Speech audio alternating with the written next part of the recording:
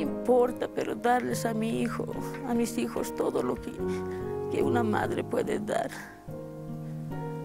Por eso les digo, me siento feliz al ver que mis sueños, que mis sueños se están haciendo realidad, que mi historia va a salir en algún lado, pero va a salir para que otras mujeres, para que otras mujeres también piensen como yo, salgan adelante como yo.